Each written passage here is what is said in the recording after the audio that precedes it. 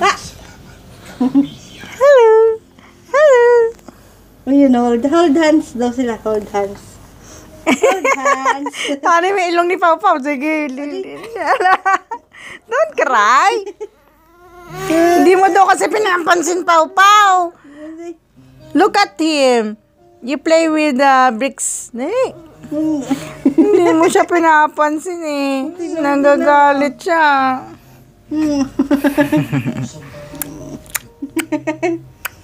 Play, play with Pawpaw.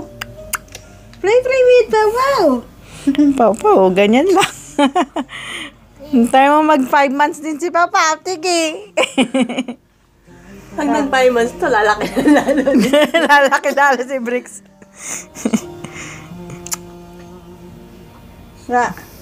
Katuwa, parang sila naka-white. Likot ng paa ni Papa ah.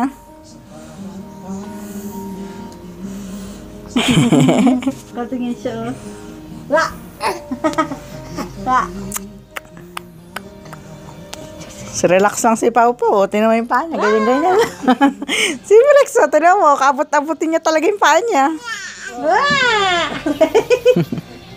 Ah! ah.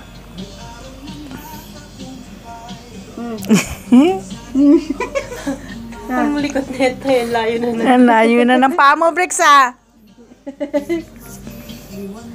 Ang layo na rin ang ulo ni Brix. Kanina din ang ulo niya.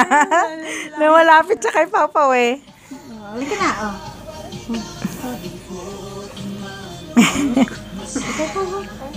Hoy!